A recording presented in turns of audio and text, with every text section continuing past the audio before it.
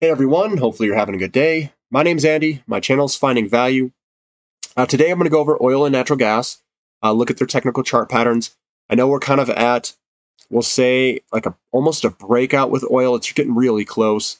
Uh, I'm hoping that we can break here and, and, and have a little fun ride in front of us. Uh, again, this is just my financial opinion. Please don't use it as advice. Uh, but here we go. This is oil and natural gas. It's one of my favorite sectors, and I'm going to throw a little bit of solar at the end of it.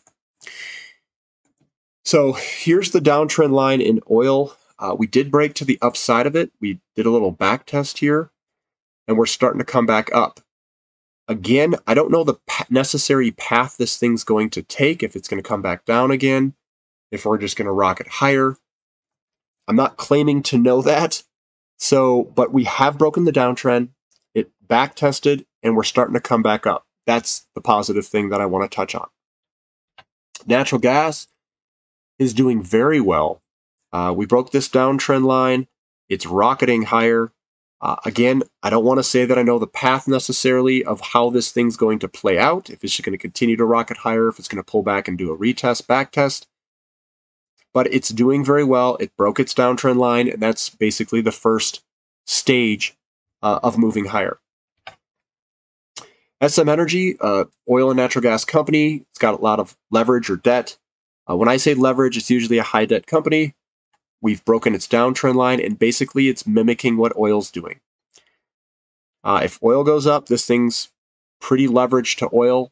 Uh, I would say that this entire detour of a move of COVID and whatnot, uh, we're basically back to a little bit above of where it would be if we didn't have COVID. So it's still incredible value here uh, for a long-term hold. Uh, Centennial Development, again, this thing got absolutely smoked to the downside, came up. Uh, I liked it all through here, and I still like it up here. It does look like we're contracting a little bit. We might have to pull down a little bit before moving up. But either way, uh, it almost looks like a shoulder, head, shoulder developing.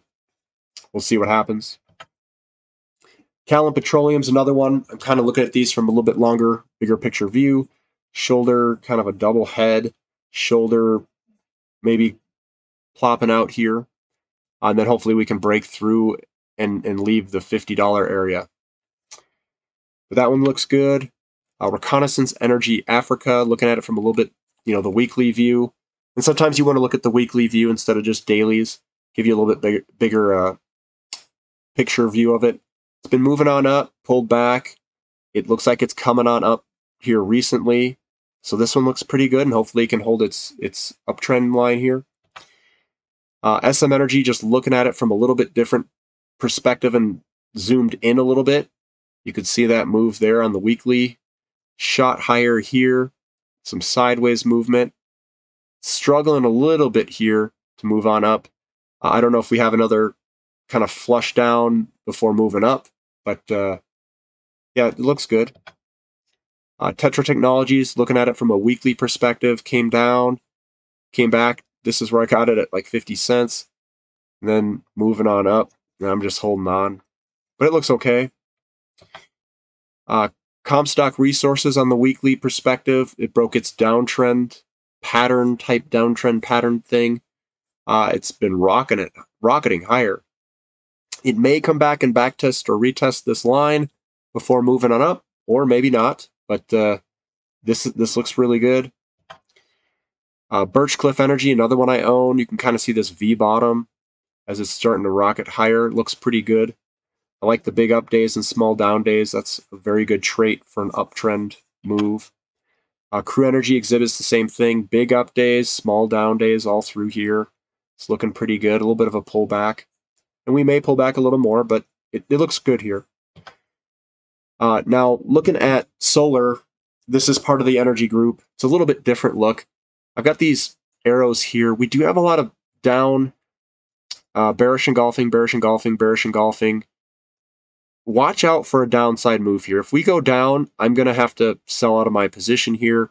Uh, I don't have the confidence in solar yet, uh, but I know that they're going to throw a lot of money at it it did look like this is a almost like a fifth wave that was going to come up here and move higher. So I'm still in it. I'm still holding on. But if we break to the downside here, I'm probably going to be chickened out just because I'm a I, I got cabbage hands on the on the solar fund.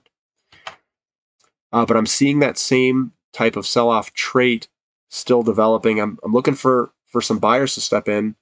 It does look like the the volume's stepping down. So I'm still in it. I'm just waiting for some buyers to step in. I'm even here. I mean, it looks like it's coming to a dead period and about to go. So we'll see what happens. Here's SOL. Again, I'm looking for a move up, but if this thing gets smoked to the downside, I'm out. I'm just, I'm waiting. And SunPower's got that same type of pattern developing. Hopefully it doesn't drop out, but move higher. So that's what I've got, you know, for the for the day here. Um, I do like the the oil and natural gas. Will it go up in the short term? I mean, if oil breaks, I think we're going to see some some good moves. If oil doesn't break, then we've got some more consolidation in front of us. Again, I, I'm not here to I'm not trading these things. I'm I'm an investor. I still think they're of, of incredible value. Uh, I think some years out, we could hit some problems uh, and prices could go kind of crazy. Uh, maybe that doesn't happen. Maybe maybe it gets mitigated somehow. Uh, but overall, I like where the risk reward is uh, in all these sectors. I also think that the commodity sector in general is really firming up, uh, breaking down trends, moving higher, uh, and that that gets me excited.